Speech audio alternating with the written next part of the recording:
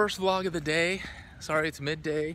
Just met with a potential uh, potential partner in the gamified world of education, and we're trying to gamify what we do. And he has a really good product, and hopefully it goes well. Anyways, you know that song? It never rains in Southern California. It's raining. Not too bad though.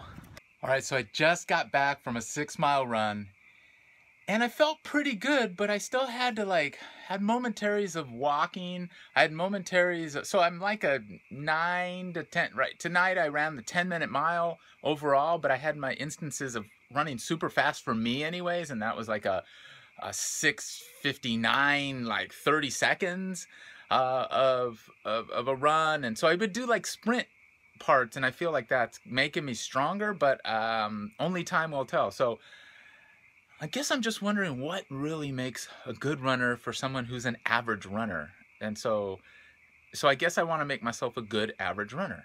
How does that one go about that? Just showered and I'm headed out to go get, why is it so weirdly dark? I need some backlighting. That doesn't work much. All right, anyways, I am, how about that? I don't know. Headed out to get Brisa. We're coming back and we're gonna watch the American Idol final.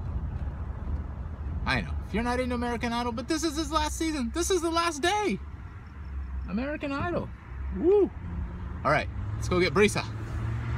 I'm coming, Brees, I'm coming.